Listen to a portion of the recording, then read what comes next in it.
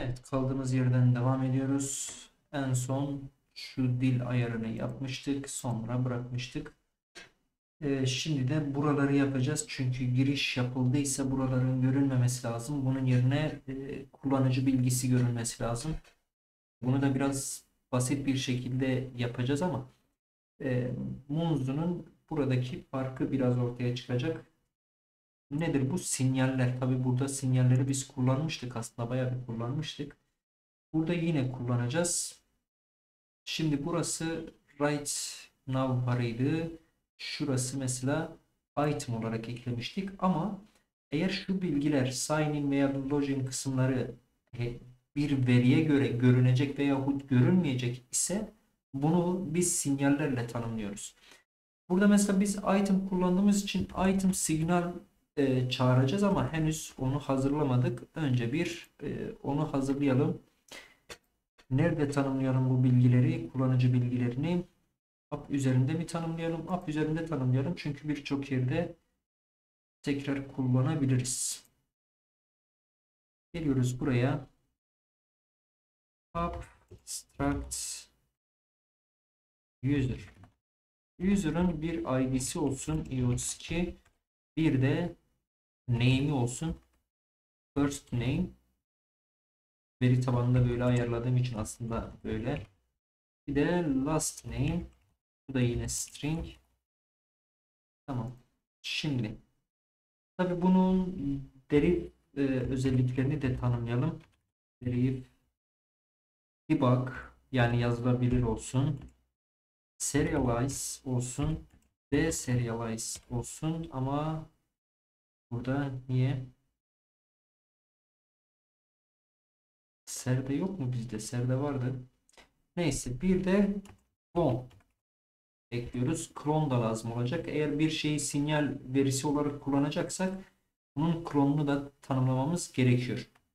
Normalde primitive types kullanıyorsanız herhangi bir problem yok. Yani i32 mesela kullansaydık sadece copy olmasında herhangi bir şey yoktu.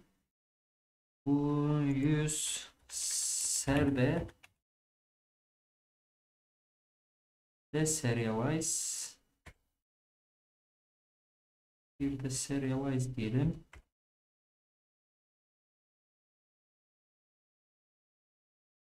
Tamam. Bakalım ne diyecek. Unresolved. Yine aynı.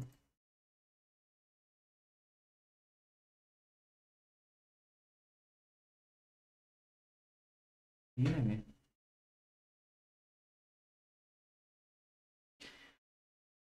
Burada kargoya serveyi mi eklesek acaba ya? Bir ekleyelim. Bir durduralım burayı. cd frontend diyorum. Çünkü neden kargo add komutunu ben frontend'e e, kullanacağım. Frontend'in kargo tamlığına bir şeyler ekleyeceğiz. Kargo serde diyelim. Serdeyi bir eklesin. Add serde tabii. Tamam. Şimdi.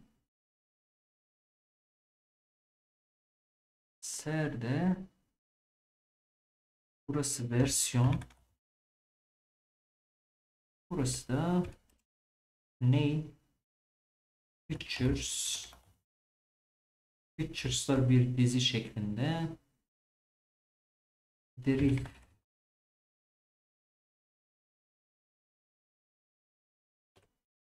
bakalım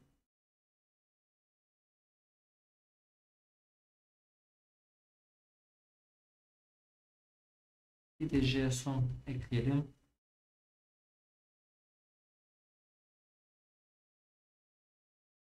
Hala sıkıntı mı?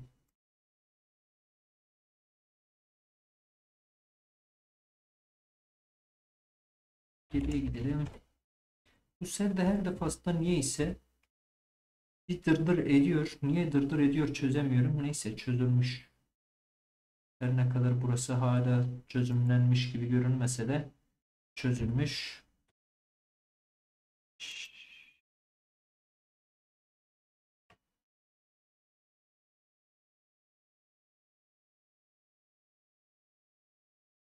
Tamam hatalar da gitmiş. Şimdi tekrar bakalım. Burada herhangi bir değişiklik yapmadık daha. Şimdi user'ı oluşturduk. Up kısmında geliyoruz. Buraya bir de statik ref açalım. Statik refleri her defasında en üste yazsak. Statics. Geliştiricisi güzel bir şekilde bunu yazıyor. Ben o kadar güzel yazamıyorum.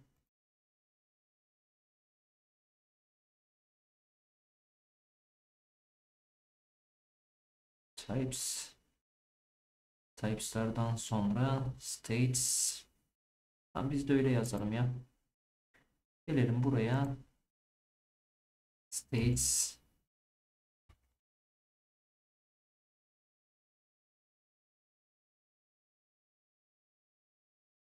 States.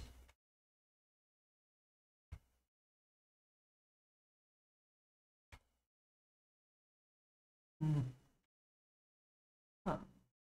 Çok da gerekli değildi ama. Şimdi static static ref ekliyoruz. Burada pub içerisine yazdığımızdan dolayı headers'ta kullanacağız. Dolayısıyla pub pn yapıyoruz. Pub pn user bu user her defasında kullanılacak. User mı yapalım yoksa login user mı yapalım? Login user yapalım. Bu bize ne return edecek? Bir tane static static mutable user ama yok. Option user. Yani ya user vardır ya da henüz yoktur anlamında. Geliyoruz buraya.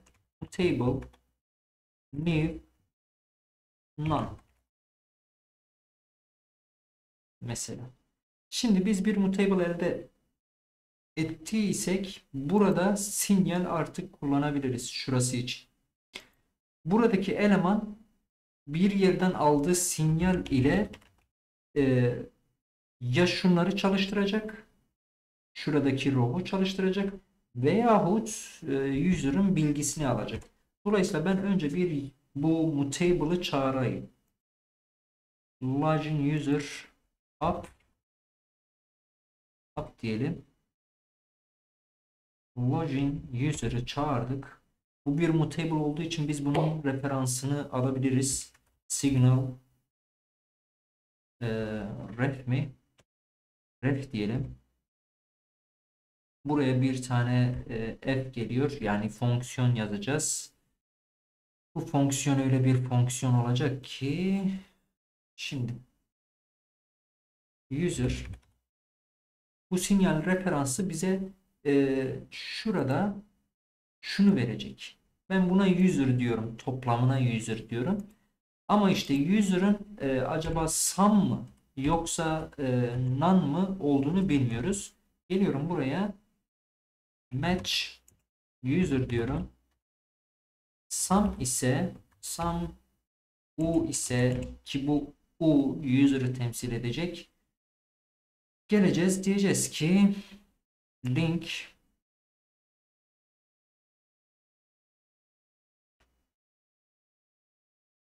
label burası sinyal olmayacak. Burası da yine olmayacak. Link labeli ne olsun? User'ın first name'i olsun. Ups. Ha, tabi burası henüz user olmadı. Şimdi user olması lazım.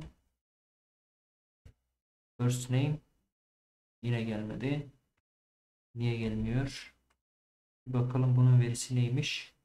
Sum t burayı burası ne? Option user tamam. Bu da option user. Tamam. Doğru aslında. Her şey doğru. Herhangi bir sorun görünmüyor. None. None ise şunlar çalışacak. Yani giriş yapılmamış ise yani henüz e, kullanıcı oluşturulmamış ise bunlar çalışacak. Ama kullanıcı oluşturulmuş ise bu çalışacak. Daha doğrusu bunu return edecek. Sinyal referans ile bunu yazdık. Buraya şimdilik A yazayım. Bakalım çalışacak mı? Ha, to'yu yazmadık. To user 1. Buraya tabii ben user'ın ID'sini aslında yazacağım. Şimdilik böyle yazalım. Tabii hala dırdır ediyor. None. He, tamam. Bu ikisinin her ikisi de element olmasına rağmen aslında şu e, bir link elementi, bu bir row elementi olduğu için dırdır ediyor. O yüzden ne yapıyoruz? Row, her ikisini de row yapalım. New item diyelim. Bunu item'in içine alalım. İkisi de row oldu. Bitti. Ama bu u'yu kullanmadık. Birazdan onu kullanmamız gerekecek. Tabii biz henüz sayfaları yapmadığımızdan dolayı e, kullanıcı bilgisi nereden gelecek o belli değil. Sunucu ayarlarını yapmadığımızdan dolayı da biz sunucu ile şu an etkileşime girmeyeceğiz. Sadece basit bir e, login sayfası yapacağız. Oraya girilen bilgiyi user'mış gibi alacağız. Yapmamız gereken şey şimdilik bu. Niye ya?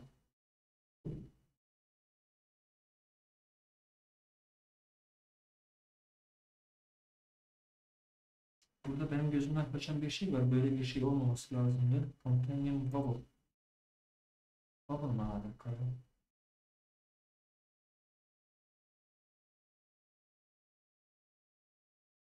Ben bunu yüklememişim ki bu.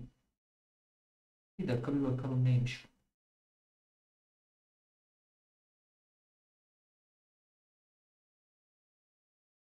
Yuh. Localhost'ta Companion Bubble. Ben herhangi bir companion yüklememişim ki.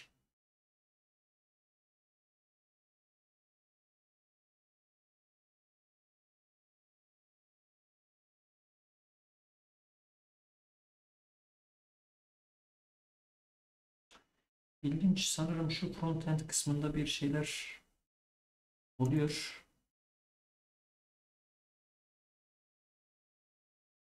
Nereden geliyor onu çözemedim. Benimle ilgili de değil. Niyeyse yine de çıkıyor yani. Ben hiç böyle bir şey kullanmadım halde bu type error nereden geliyor? Sanırım bu U ile ilgili bir problem var ama neyse. Şimdi U first ulan tamam şimdi anladım. Biz burada user'ın ID'sini falan pub yapmamışız. O yüzden göremiyor. Burada da o yüzden göremiyor. Ben de diyorum her şey düzgün ama neden olmuyor diye. Ee, burada cannot move out of first name which is behind the shared reference. Burada U bir referans olduğu için sen diyor bunu labelin içerisinde kullanamazsın ama aslında kullanabiliyoruz gayet de güzel kullanabiliyoruz.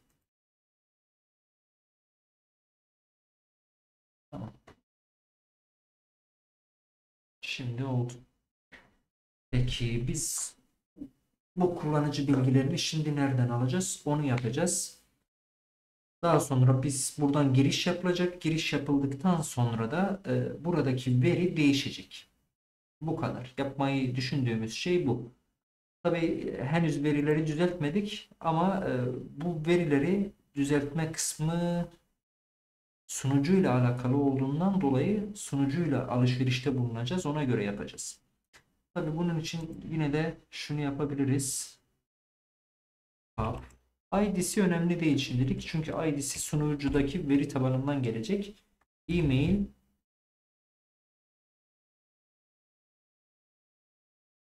İşte bu da string falan.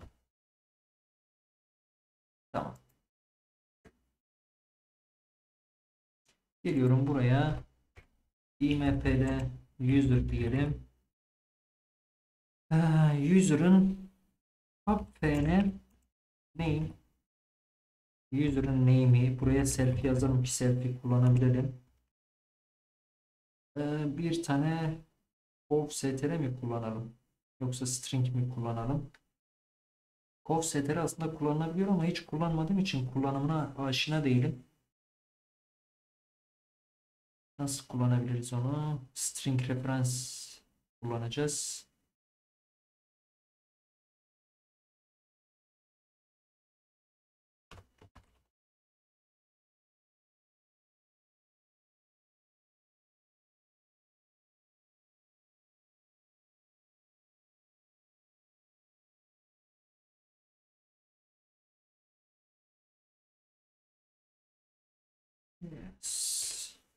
Şöyle yapalım bakalım.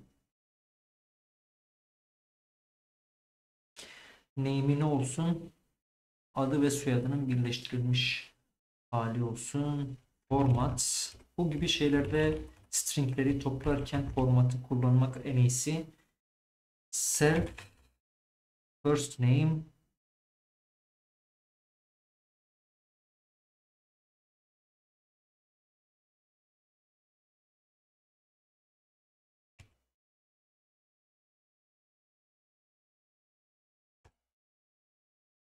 self last name Oops.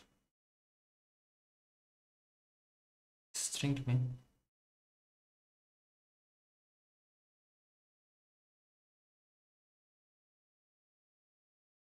Niye string ya? Normal. Ha. Ne yapıyorsun kardeş? Normalde bu str oluşturuyordu.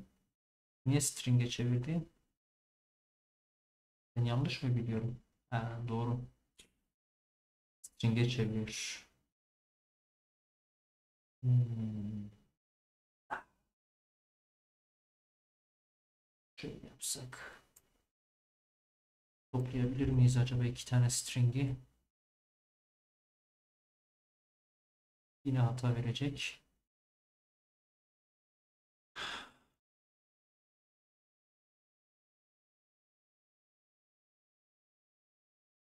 Burada da like times hatası verecek. Yes. İkincisi referans olması lazım.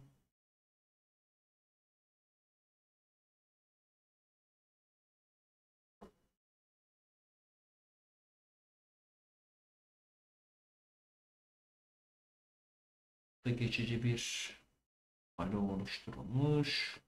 Lifetimes işin içine girdiği zaman ortalık biraz karışıyor. Adım string kullanmayayım onun yerine str kullansam nasıl olur diye de her defasında pişman oluyorum str kullandığıma. String aslında işimi görüyor.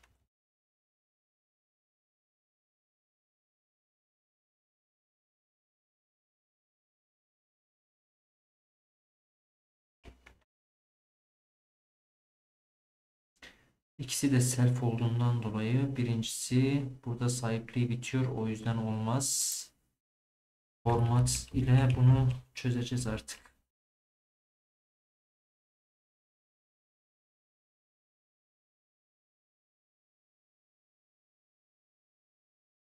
Hmm. Artı değil.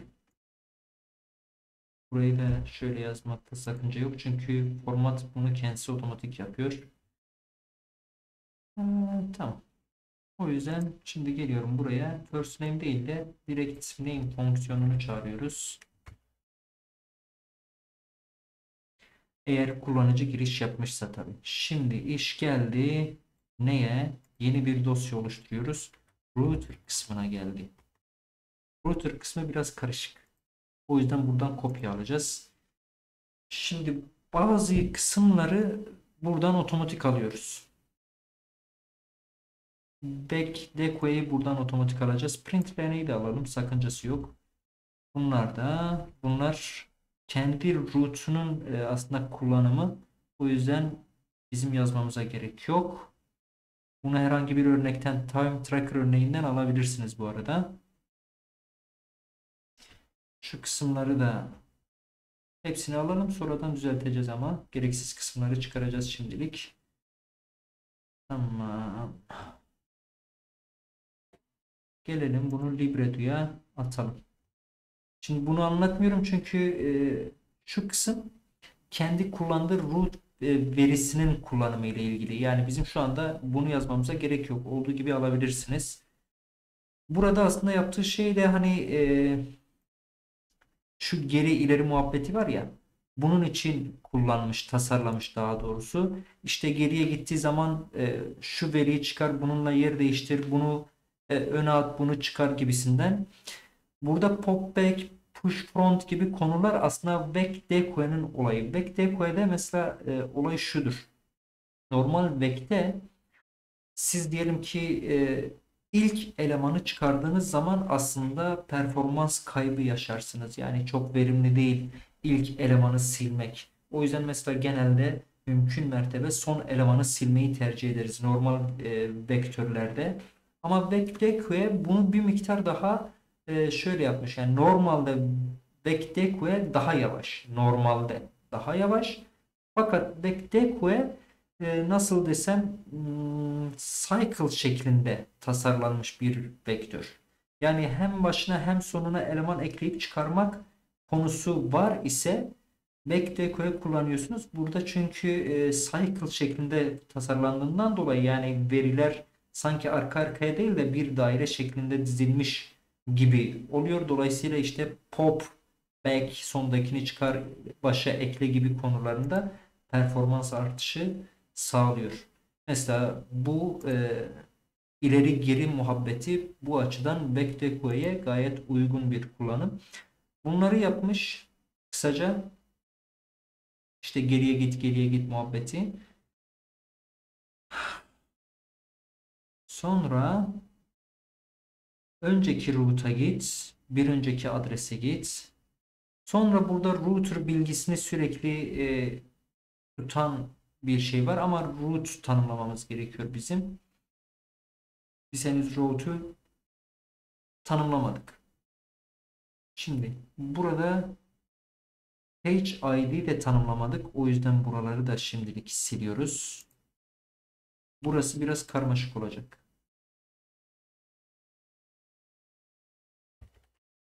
Root'u da tanımlamadık. Birazdan onları da tanımlayacağız. Şunu silsem mi? Bunu silmeye gerek yok. Sonra şunu sileceğiz. Bu bizim işimize yaramıyor. Çünkü page oluşturmadık daha. Onu da birazdan anlatacağım. Yani neden page kullanıyoruz konusunu da birazdan anlatacağım. Burada bizim yaptığımız şey yeni bir router oluşturmak ve bu router'a göre root verisini değiştirmek. Buradan kastımız şey, kastımız şu. Şimdi mesela şu an adres şu değil mi? Bu adres var iken ekrandaki veri başka olacak. Buraya tıkladığımızda e, Sign in'e tıkladığımızda mesela buradaki veri farklı olacak. Ya da login'e tıkladığımızda buradaki veri farklı olacak. Bu arada dikkat ederseniz her tıkladığımızda sunucudan verileri tekrar çekiyor. E, bu normalde olmaması gereken şey ama bunun olmasının sebebi şu headers'ta biz linki direkt string olarak vermişiz ya router olarak belirtmemişiz. O yüzden aslında yapıyor. Mantıklı da. E, çünkü bazen gerçekten de sunucudan veriyi yeniden çekmemiz lazım. Normalde biz WebAssembly kullandığımızda bütün iş ve işlemler burada bitiyor. Hiç sunucuyla işte HTML'i tekrar baştan mesela buraya tıklamışız gibi veriyi çekmiyoruz hiçbir zaman. Ama bazen gerekebiliyor. Neden gerekebiliyor? Mesela e, yeni bir e, WebAssembly dosyasını ekstradan işin içine koymak istediğimiz zaman sunucudan o veriyi de çekmemiz gerekiyor. Mesela ben burada buraya tıklayıp login olduğunda eğer sayfa yenilenerek bilgi gelmezse bu login sayfası aslında sadece burada olup biten bir şey olur. Ama ben mesela burada girişe tıkladığımda ve bu sunucuya gittiğinde sunucu bu bütün bilgileri alıyor. Sizin girdiğiniz adres bilgisini de alıyor ve buna göre size bir veri üretiyor. Yani bazen gerekebiliyor bu ama çok nadir single web e, uygulamalarında pek gerekmiyor. Her neyse bu daha sonra çözeceğiz bunu. Birazdan çözeceğiz daha doğrusu. Şimdi burada let root demişiz. Burası root return ettiğine göre burasının da root return etmesi lazım. Ama biz daha root tanımlamamışız. Buradan hemen kopya çekiyoruz. Geliyoruz. Şunları alıyoruz. Gereksiz olanları sileceğiz. Ve buna göre tasarlayacağız. Root'ları tasarladık. Şimdi bu benim işime yaramıyor. Ondan sonra bir tane login sayfası root'u var. Bir tane e, sign-in root'u var. Bir tane de root var. Ana sayfa. Home diyelim biz buna. Şimdi bak root var. Tamam. Ama page ID'leri henüz tasarlamadığımız için burayı geçiyorum. Bu bize lazım değil. Bu bize lazım değil. Bu bize lazım değil. Bu bize lazım. Bunun aynısını bir de sign in için yapıyoruz. Şimdi oldu. Tabi burada e, up kısımları kullanmayacağız. Sets signing Burası da home yaptık biz. Burayı page id'lerini henüz kullanmıyoruz. Yine root olan yeri home yapıyoruz. Burada da login değil. ikincisi sign. Tamam. Şimdi buraya geldik. Bir tane root return edeceğiz. Daha sonra root Tamam. Var mı bir sorun? Herhangi bir sorun yok.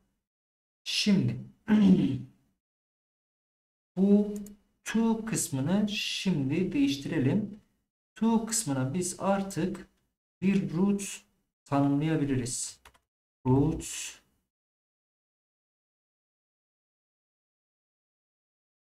root root home ya da yok sign Tabii e, root'u tanımlamışız ama niye burada görünmüyor? Router'ı da ha, router'ı da main'den çağıralım bir. Mod router tamam. Buraya geliyoruz. Yine şöyle silelim kendisi otomatik eklesin. Root home yok sign in Bakalım.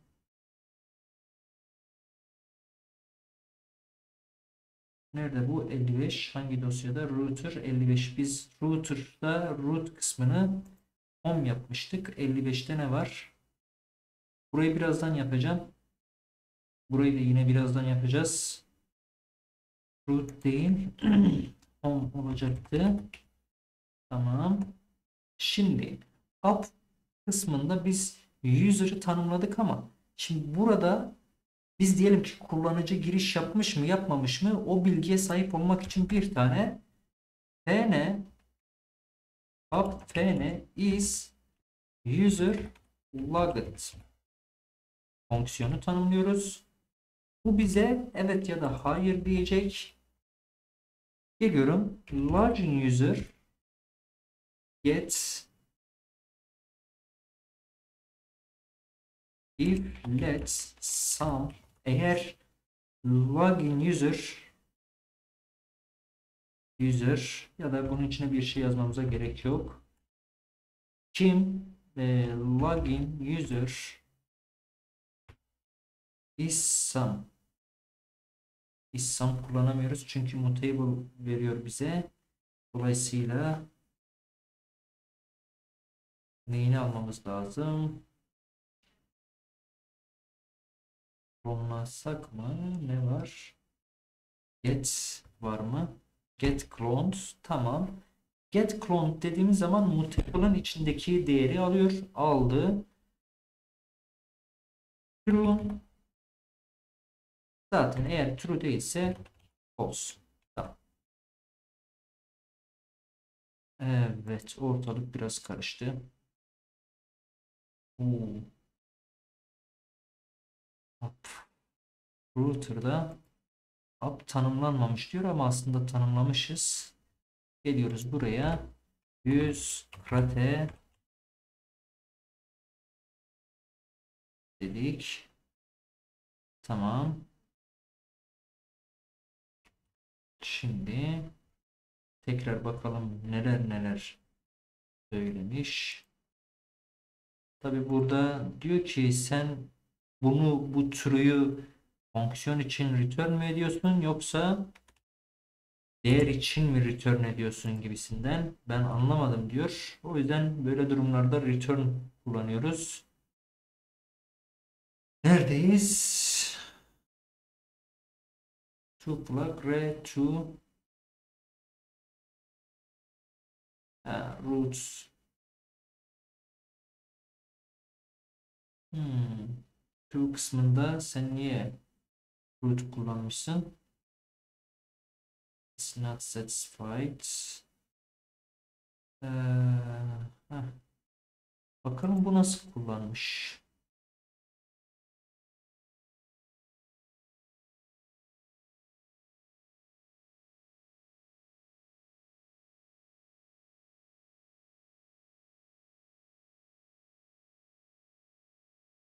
Burada yok.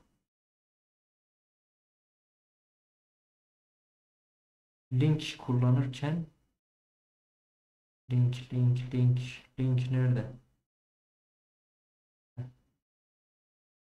İl menü panel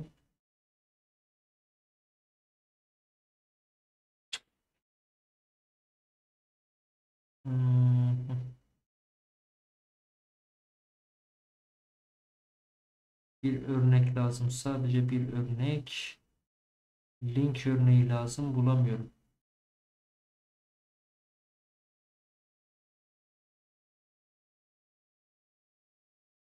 Title.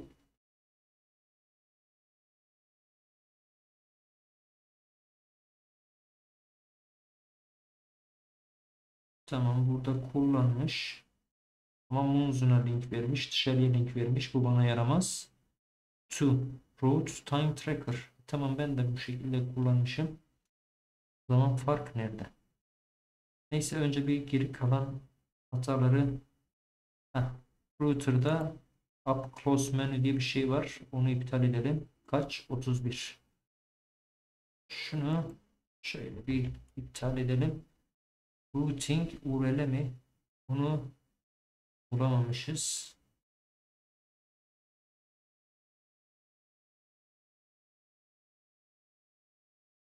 Router. Nasıl router'ı bilmiyorsun ya?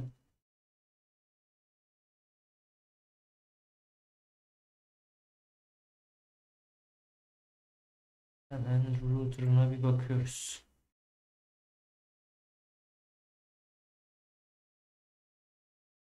Router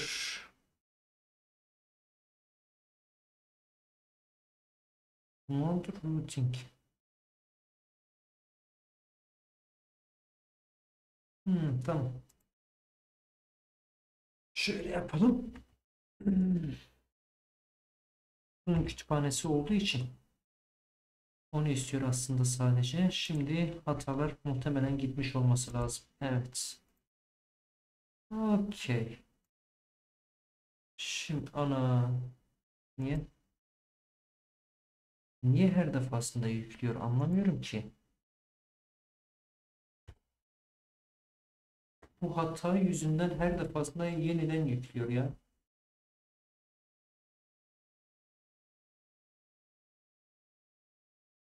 Benim buna bakmam lazım. Detaylı bakmam lazım.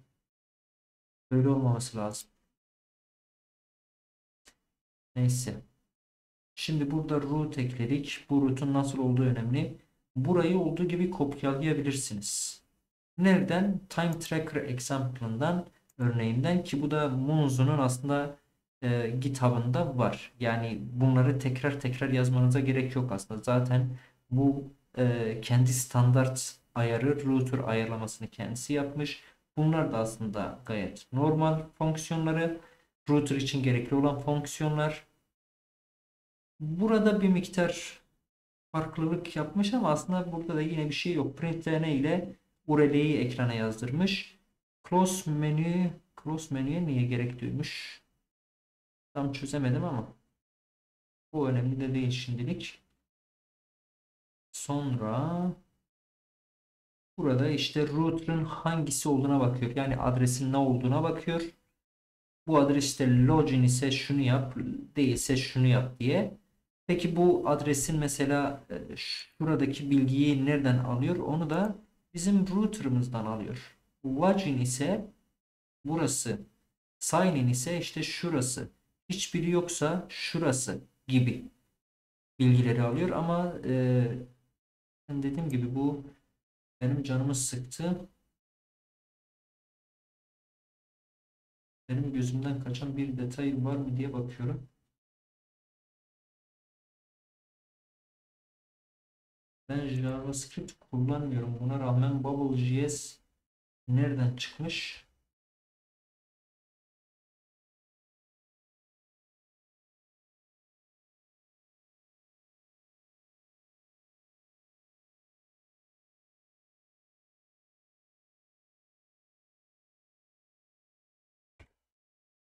Açıkçası hiç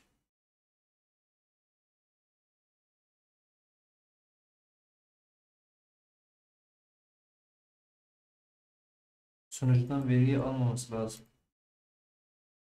Kesinlikle sunucudan veriyi almaması lazım. Bu yüzden burada bir miktar bir sorun var. Burada tamam burası çalışıyor ama burası çalışmıyor. Type error cannot convert undefined or null object. Şimdi burada ben bir test yapacağım. Testim de şu. Hata buradan kaynaklı bir şekilde geliyor. Şuradan kaynaklı bir şekilde geliyor. Ben bunu bir kaldırayım bakayım düzgün çalışıyor mu? Onun düzgün çalışması lazım da.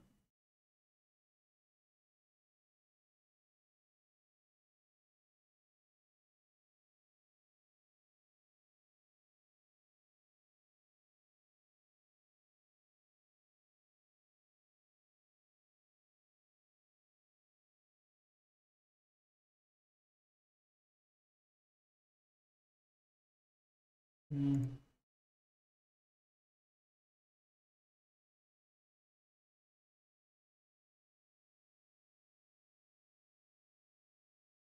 Ha, yine nerede alıyor bu hatayı ya? Function case. Burada değilmiş hata demek ki.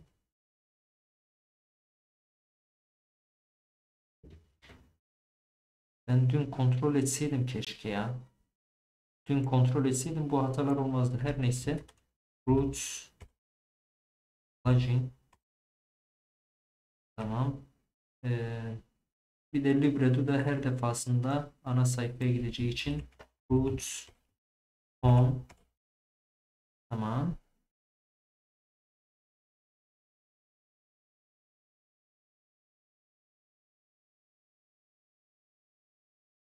İnanılmaz ya. Bu ne alaka? Ben yazmamışım ki. Böyle bir şey bile yazmamışım ben.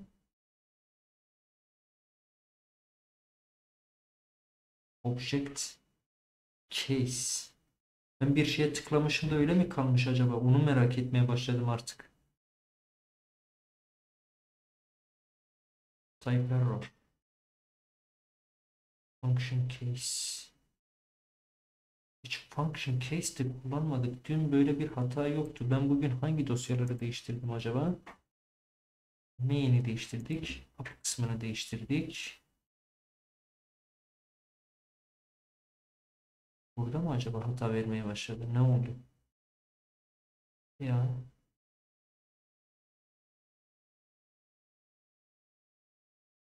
Merak etmiyor değilim acaba nerede bu hatayı veriyor diye.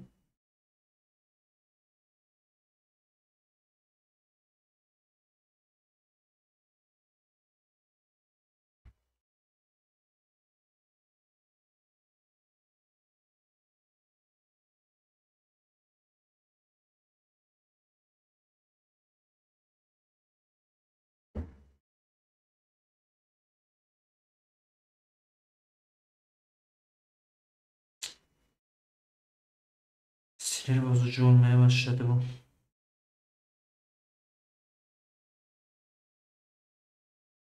Yani normal şartlarda evet biz bir link vermediğimiz zaman sunucuya request'te bulunuyor ama burada ben herhangi bir şey oluşturmamama rağmen bu companion bubble araştıralım.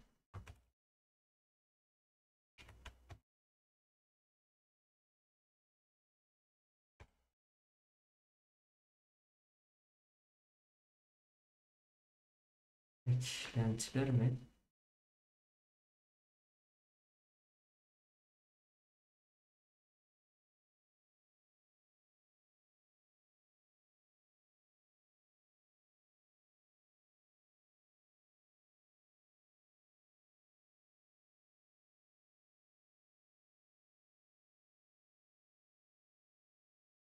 Başka?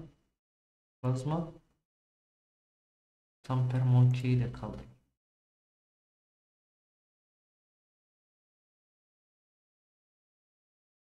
Bu muymuş yani?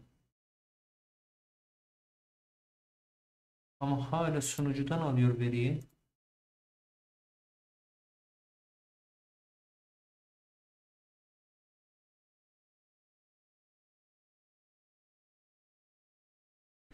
Hala sunucudan alıyor. Bu gayet sağlıksız oluyor WebAssembly için.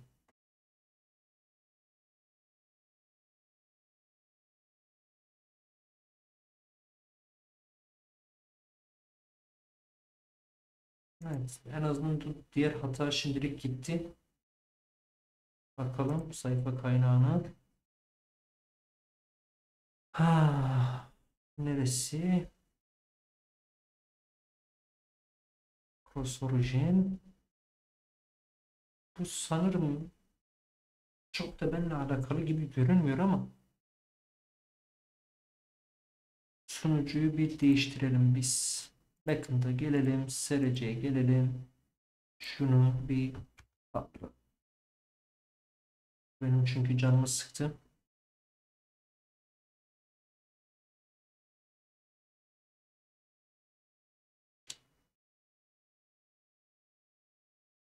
Bunu yaptıktan sonra router'ları yaptık. Router'lar bu arada yanlış anlamayın. Sayfayı değiştiren bilgiye sahip değil router'lar. Router sadece bizim e, şuradaki adres bilgimize bakıyor. Ve buna göre bir router'da veri düzenlemesi yapıyoruz. İşte hangi adrese gitmiş, sign'ine mi gitmiş, login'e mi gitmiş. Sadece bu bilgiyi bize veriyor aslında. Başka hiçbir bilgi vermiyor bize. Ee, ben bunu bir geliştiricisine sorayım ya. Bu niye sürekli değişiklik yapıyor ya? Link'in başka bir özelliği mi var? Ben tekrar şuralara bir bakayım.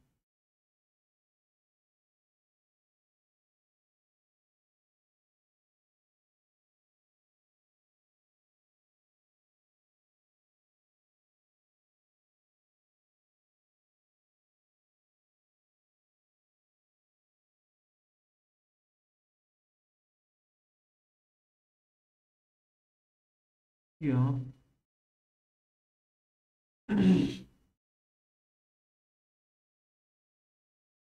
Unhover change. Roots label tamam hepsi aynı. Herhangi bir şekilde e, bir sıkıntı olmamış ben bir değiştireyim bunu çalıştırayım. Bakalım burada bizim istediğimiz gibi mi çalışıyor acaba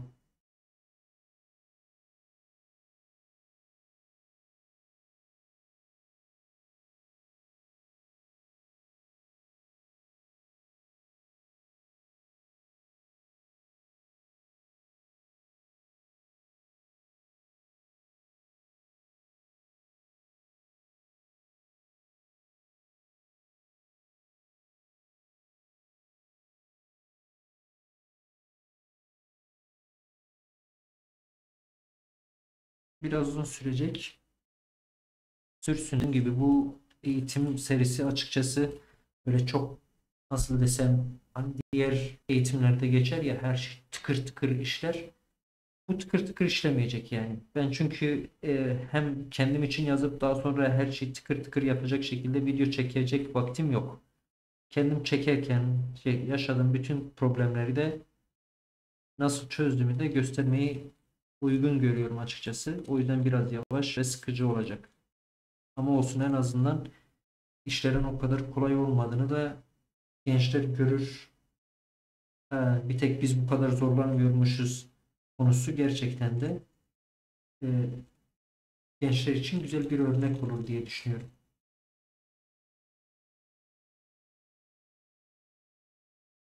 Derlensin.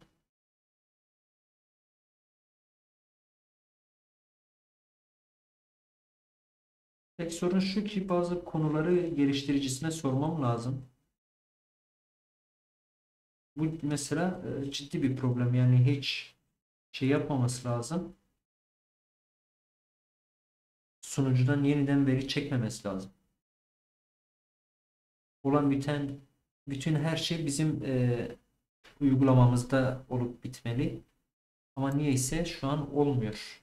Yani tıkladığım zaman herhangi bir şekilde sunucuya istek atmaması gerekiyor.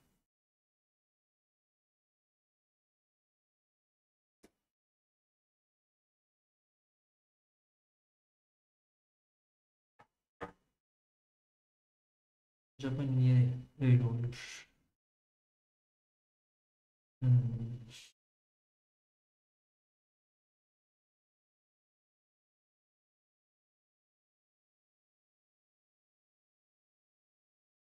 Neyse bir bakalım. Time Tracker örneği nasıl yapmış? Onda da aynı sıkıntılar çıkıyor mu çıkmıyor mu merak ediyorum. Eğer çözemezsek, burada gördüğümüz şeyi çözemezsek artık bir sonrakinde çözeceğiz.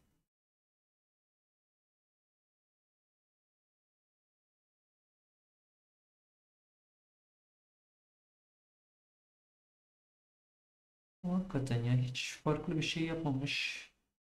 Benimkisinden daha farklı bir şey göremiyorum. Acaba sadece page oluşturmadığımız için mi böyle bir sıkıntı çıkarıyor?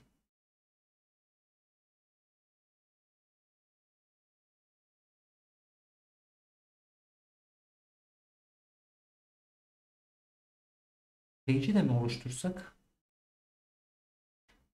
Neyse bir derlensin. Page'i de oluşturalım. Aradan çıksın.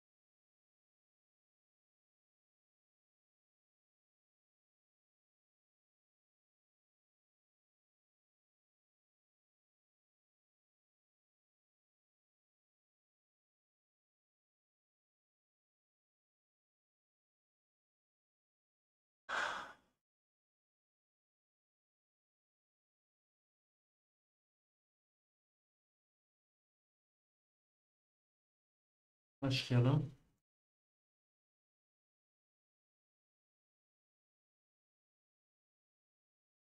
Oho.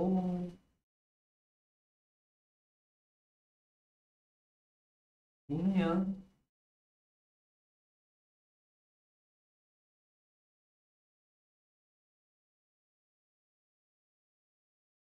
Burada daha sıkıntılı olmuş. Bir bakayım yine. Tamam 80-80'de.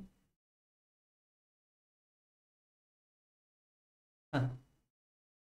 Geldi. Şimdi. Bakın buraya tıkladığım zaman dikkat edin. Hiç sunucuya gitmiyor bilgiler. Hiç. Ama bizimkisinde niye ise sunucuya gidiyor. Konsola bir bakalım.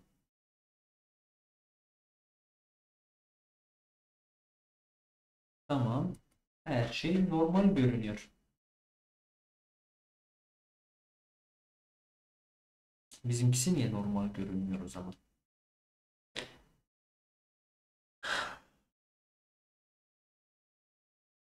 Bir bunu sonlandırıp kendi sonucumuzu bir açalım.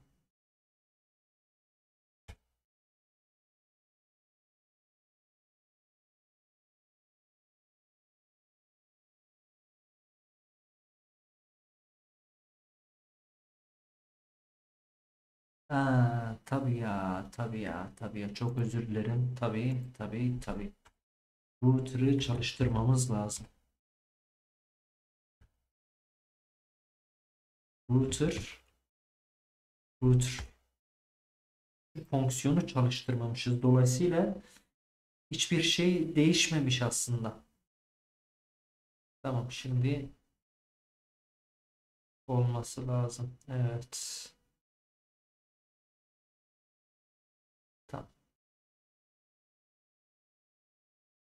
Evet. Ya ben de diyorum bu neymiş arkadaş. Tamam. Bu. Bu ders o halde burada bitsin. Biraz kafamız da rahatlasın. Ee, yani olay şuydu. Onu da belirteyim. Bu router görünürde herhangi bir elementle herhangi bir iletişimi yok. Yani değişiklik yapılan bir yer yok. Sadece nerede değişiyor?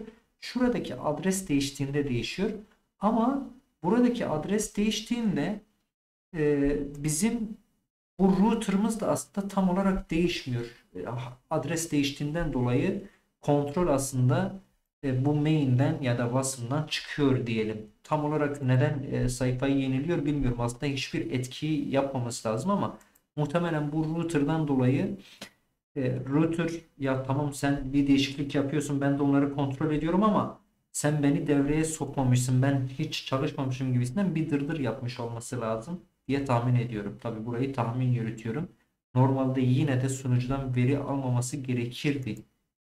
Ama e, neyse biz şimdi router'ı çalıştırdıktan sonra router kontrolü ele aldığından dolayı biz wasm ile şuradaki adres değişikliklerini de kontrol altına almış olduk. Bir birkaç saat sonra bu defa bu router'ın e, sahip olduğu bilgiyi alıp sayfa bilgisini buna göre düzenleyeceğiz. Bunu da bir sonraki derste işleyelim. Biraz ara verelim. Sonraki derste görüşürüz.